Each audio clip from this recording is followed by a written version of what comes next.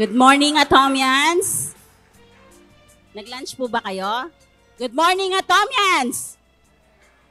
Yan. So, excited na po ba kayo para malaman po yung mga Atomy products po natin? Sino po yung ating mga first-time guest po dito? Ayan, meron po tayong 100 first-time guests. so, salamat sa pumuntang 100 first-time guests. So, yan. So, uh, let me introduce myself. I'm Diamond Master Shirlita Ilagan, Center Head of Old Balara KB Center. So, sabi po kanina sa lecture po ni ating CEO, yung ating pong principle ng products is absolute quality and absolute price. So, tinitingnan po muna is yung quality ng produkto bago siya magtakda ng presyo. So, sa mga user na po dito ng Atomy, nasubukan niyo na po ba to or masasabi niyo po talagang absolute quality and absolute price ang products ng Atomy? Okay. So, here in Atomy, meron po tayong sariling online shopping mall. So, sino na po dito yung marunong mag-navigate ng kanilang online shopping mall?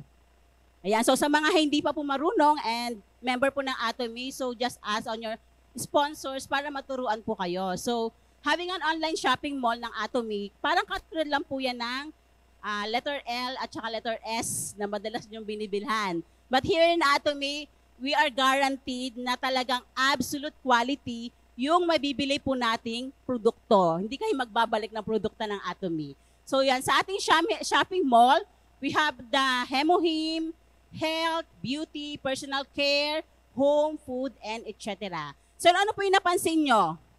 Meron po ba kayo napansin? That is all for our daily necessities. Essential products na lagi po nating gagamitin. So there's no reason para hindi nyo po gamitin ang Atomy products. Kasi pagkagising pa lang sa umaga, ano po yung iinumin ninyo? Totoo po ba? Kape? Okay. So ito po yung ating um, principle ng product. We have the uh, mastige. So what is mastige? Mass production, ibig sabihin po target consumers. So pwede po sa lahat, kaya pong bilhin po ng lahat, but with high quality or the prestige quality. Kaya kahit po yung simpleng one, nakatulad po natin, kayang-kaya po nating ah, gumamit ng mga magagandang produkto. So for today's feature products po, so I will discuss po the Hemohim, the milk thistle, and the calcium. So Father's Day po, this weekend po, this Sunday, di po ba? Meron na po ba naisip na regalo sa inyong mga tatay? So kung wala pa po kayo naiisip, I suggest you will uh, take, take po tong ano po, products po ng Atomy. Gusto niyo po bang lumakas ang inyong mga tatay? Ang mga haligi ng tahan, gusto po bang lumakas? Sino po yung mga father po dito? Yan, so, yung mga asawa po, kalabitin po ninyo. Sabi nyo, baka naman. ba? So, ito po, first po ng ating product is our Hemohim. So, what is immunity? So, immunity is the ability to recognize and res- uh, resist viruses and bacteria when they enter the body. And its function is to stop bacteria from Hello. Ayan, malakas na po ba? Ayan. So, entering our system. So, sino po ba yung may immunity dito? Siyempre lahat tayo, meron tayong immunity, di ba? So, yan. So, yung ating pong immunity, yan po yung sundalo sa ating mga katawan. So, yan po, dinidetect po niya pagka may mga papasok na virus sa ating katawan. So, kamusta po ang inyong immunity? Sabi niyo po yung katabi niyo, kamusta immunity mo? So, kung hindi pa po okay ang inyong immunity, you must take this Hemohim. So yan, get enhanced immunity for a stronger and healthier life with Hemohim. So why take Hemohim? It will awaken your exhausted immunocytes. So exhausted immunocytes equals to healthy immune systems. Di ba? Pagka weak po ang ating immune system, mas prone po tayo sa mga sakit. Di ba pagka nung mga bata po tayo, pagka nagkasugat po tayo, uh, kusa po siya nag-heal. Di ba? Kasi mataas po ang immune system po ng mga bata. But as we get older, napuprone po tayo sa mga pollutants or ibang mga uh, radicals. So, nagiging weak po ang ating katawan. So, this is the history of Hemohim. Actually, dapat pong pasalamatan natin ang Atomy. Sabi nga po natin, thank you Atomy! At pasalamatan din po natin yung ating chairman si CEO. Thank you po CEO Park Han Gil. So bakit po natin siyang pasalamatan? Kasi without him and without Atomy, siguro po hindi po tayo nakakapag-take ngayon ng Hemohim. So bakit po? Ito, ito po yung history ng Hemohim. So Hemohim is a herbal supplement developed by the Korea Atomic Energy Research Institute or KERI in collaboration with the Korea Research Institute, Institute of Bioscience and Radiation. So, sa, ayan, biotechnology, the research of Hemohim began in the late 1990s. So, ibig sabihin po, 1990s pa lang, meron na pong Hemohim. So, with the aim of developing a product that could enhance immune function and protect against radiation damage, the development of Hemohim was primarily driven by the needs of workers in industries where exposure to radiation is concerned. So this is back up po ng Korean government. So such as nuclear power plants, 'di ba sa Korea po meron silang mga nuclear power power plants. So exposed po doon yung kanilang mga scientists sa radiations. And medical facilities, the researchers focus on finding natural compounds that could stimulate the immune system and help the body cope with the effects of radiation exposure. So dito po dumating na yung Korean government ah, gumawa na po sila ng paraan. Ano bang ah, gamot or supplements yung pwede nilang ibigay sa kanilang mga ah, scientists para at least hin- hindi sila, kasi pag sa radiation, di ba, prone po sa mga cancer po yan. So, after years of research and testing, Hemohim was eventually launched as a commercial product in South Korea in the mid-2000s. So, it gained popularity not only among workers in radiation-related industries, but also among the general public as a dietary supplement to support immune system. So hindi lang po yon para sa kanilang mga scientists. So binahagi din po nila yung hemohim doon sa mga kanilang mga Korea citizens. So syempre lahat ng mamamayan gusto po nila maging healthy. So yun nga po, kaya lang po, nung dati po, sobrang mahal po ng hemohim. Baka hindi po natin kayang i-afford. So thank you na lang po Atomy. Sabi nga po natin, thank you Atomy. Yeah, so nakakapag-try na po tayo ng hemohim. So yan po. So after nung po sa Kerry na develop ah, nakapasa po siya sa Development of Functional Biodefense Food and then sa Colmar, then nakapasa din po siya sa MFDS and then here now si Atomy na po ang nagbebenta ng hemohim. Okay, so ito po yung kanyang main ingredients. It has Angelica gigas, Ligusticum sinense, and Peona lactiflora. So hemohim is a is a substance with a special immune function, function. Has been developed through biological engineering and radiation technology. So, recommended po ang hemohim para kanino? Para sa mga athletes. May mga kilala po ba kayong athletes? Sa mga homemakers, employees, students, and seniors. So, it will boost your immune system for a healthy and vibrant life. So, tayo nga po tayong lahat. So, pagka narinig nyo po yung sinabi ko, pwede po kayong umupo kung may kakilala kayo or kayo po mismo ito. So, hemohim is good for cancer patients, especially going through chemotherapy and radiations. May kakilala po ba kayo? Kung may kakilala po kayo, pwede kayong umupo. So, yung wala, tayo po muna. So, sino pa yung may kakilala mga diabetic? Diabetes. Sino pa yung may kakilala mga diabetic? Okay, sige, upo po kayo. Yung mga merong high cholesterol, may kakilalang high cholesterol. Ay, may natitira pa isa. Galing sir. Sir, may kilala kayo may high blood? Ayan, umupo na si sir. Di ba? Ilan pa lang po yung nabanggit ko. Pero nagsiupuan na po kayo lahat. So, ibig sabihin, kailangan po talaga natin ang hemohim sa buhay natin. Tama po ba? So, yan po yung mga natutulungan po ng hemohim. Yan, may high blood, may stroke patients, yan, kidney problem, lalo po yung nag-undergo ng dialysis. May asthma, katulad ko. So ako po, may asthma po talaga ako dati. So ngayon, control na control ko po siya kahit po na pagsamahan niyo pa yung apat na anak ko. At mag atomy ako, mag-sideline pa ng iba, malakas po yung aking immunity because of hemohim. Sa mga may arthritis, myoma, so yan. So marami pa pong iba. So gagamitin po ba natin ang hemohim? Sa tingin niyo po, magandang product ang hemohim. Of course, biruin niyo po, it has billion dollars for nine consecutive years. Magandang maganda, maganda. Maganda, maganda, maganda. Bibili po ba kayo ng Hemohim? Okay ha, so bumili kayo. Ngayon June may challenge. So I hope Hemohim number one po ninyo. So that's all po for Hemohim. Ah, okay. Ito pa pala, isa pa. So, ang pinagmamalaki po natin, it, this is listed in PubMed. So, ano po yung PubMed? So, when you're researching a product, try nyo pong i-research sa PubMed kasi andito po yung kanilang journal and research development. So, pagka nandyan po ang inyong product, ibig sabihin maganda, pwede nyo po siyang introduce sa mga doctors, sa mga nasa medical fields, yan po yung ibigay nyo sa kanila. Hindi, hindi po sila magdududa. Ang kagandahan po ng Atomy, pag sinerch nyo po, it has 22 strains. Hindi lang po yan isang journal. It has 22 strains. So pwede nyo pong i-check. Ibigay nyo po sa mga medical field workers nyo po. May lakas po kayo ng loob, may kumpiyansa na i-share po ang ating hemohim. Okay, so tapos na po tayo sa hemohim. Let's go for the Rojola milk tea cell. So, what is Rojola milk tea cell? So, this one is for our liver. So, uh, our liver po is the large organ that sits on the right side of the belly, weighs about 3 pounds, reddish brown in color. Lahat po ba kayo may atay? Kamusta po ang inyong atay? okay pa po ba ang inyong atay?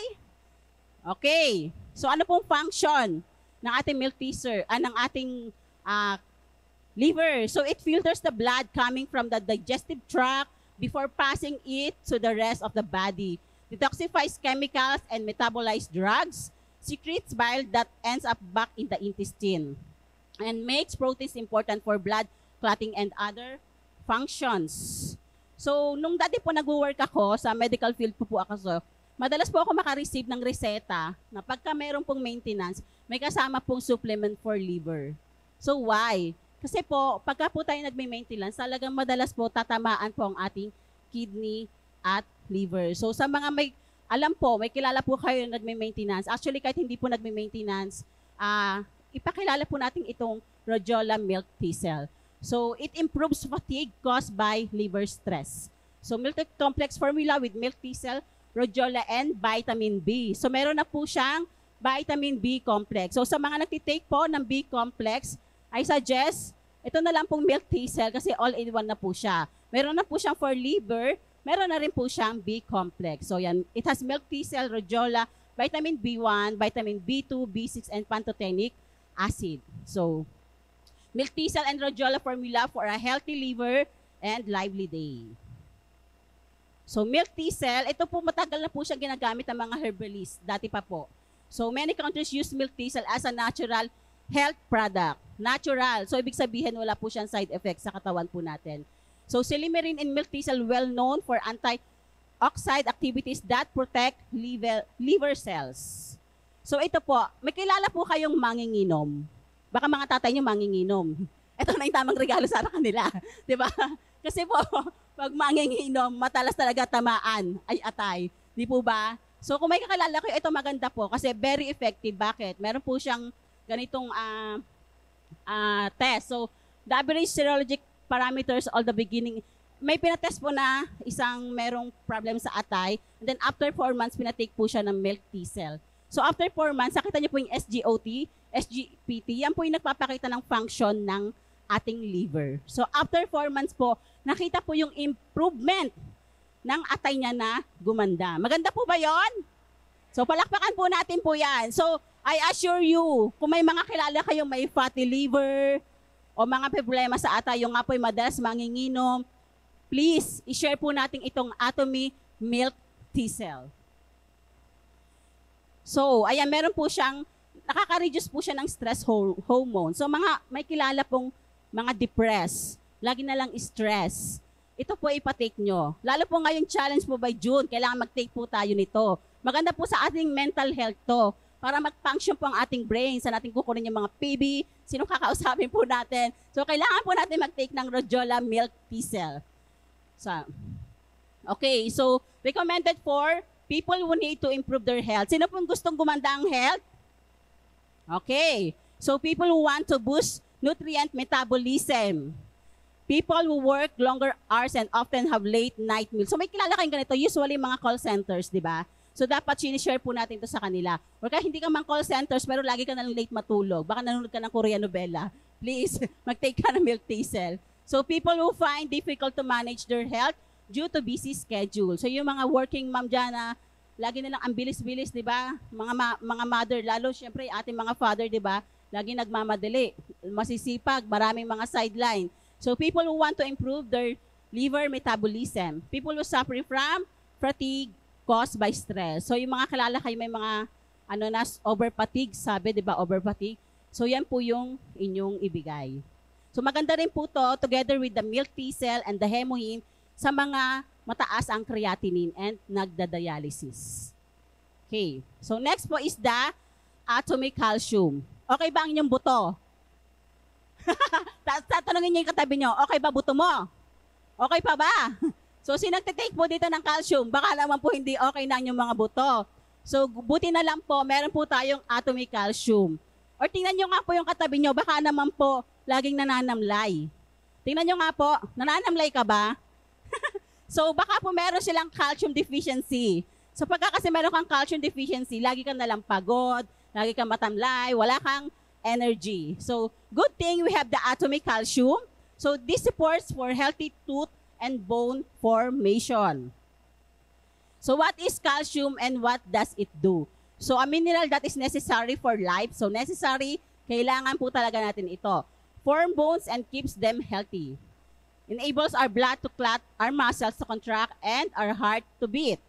When we don't get the calcium our body needs, it's taken from our bones. So kung hindi po enough, yung nakititik natin calcium every day, ang sisirain po niyan is yung ating bones. So gusto niyo po ba masira yung bones niyo?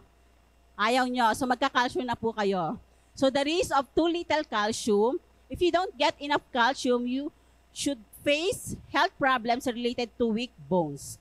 So children may not reach their full potential adult height. Kaya nga po, di ba, ang mga bata, pinapainom ng gatas. Pati matatanda po, di ba? Pati bata ka, minom ka ng gatas. Pag tanda mo, papainumin ka pa rin ng gatas kasi weak na yung bones mo.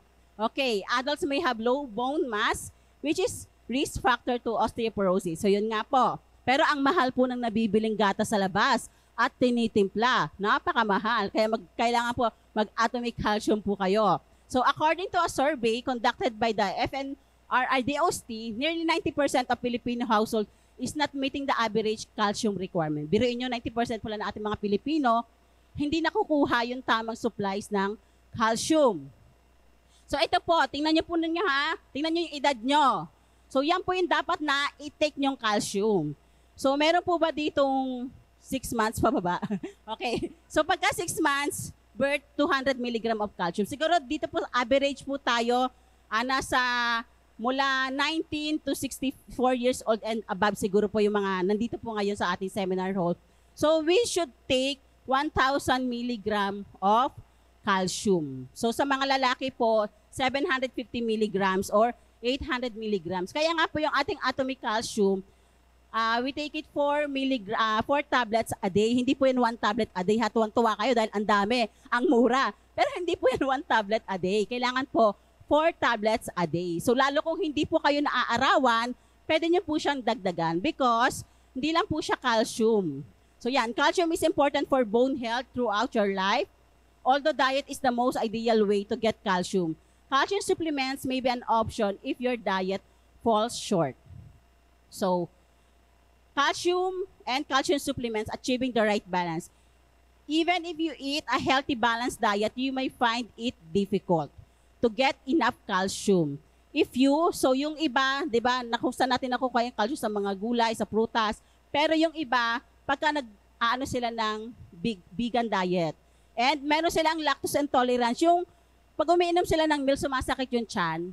Diba, ang dami pong ganon. Ang dami pong hindi nagtitake ng milk kasi meron silang lactose intolerance. So, meron din, um, consume large amounts of proteins or, or sodium which can cause your body to excrete more calcium. Are receiving long-term treatment with corticosteroids. So, ano po ito? Ito po yung mga matagal na po nagme-maintenance. Usually, mga asthmatic, nagki-chemotherapy. So, sila yung madalas po sa corticosteroids. And yun nga po, ang nadadamage po dun is yung ating mga buto. So have certain bowel or digestive diseases that decrease your ability to absorb calcium such as inflammatory bowel disease or celiac disease. So ito po yung madalas ma, ah, mas, pag natitake nga po ng milk, sumasakit yung tiyan, tapos madalas sila yung dumumi. Kumbaga yung hindi nila nakukuha yung enough calcium kasi dumi po sila ng dumi. Okay, so ano po meron sa calcium natin? Hindi lang po ito calcium. Sabihin mo sa katabi mo, hindi lang to calcium. So ano pong meron sa calcium? Pakibasa po, it has, okay, it has vitamin D and it has magnesium. So maganda kasi meron siyang vitamin T, ibig sabihin active na yung calcium. Meron kasi calcium lang alone. So mas maganda rin po may magnesium para sa better absorption. So pagka may vitamin D, kahit na hindi po kayo naaarawan, lalo kung hindi talaga kayo naaarawan, kung umaga kayo maalis, sa bahay madaling araw pa lang, pagbalik nyo, gabi na, hindi kayo naaarawan. Kailangan po talaga nagtitake po kayo ng atomy calcium. So it creates strong bones with a synergistic effect of three nutrients. So in compare nyo po siya sa labas. I dare you, check the other calcium sa market. Wala pong ibang ganito na ganito kamura. Sabi nga po, atomy absolute quality, absolute. Okay. So what kind of calcium is used?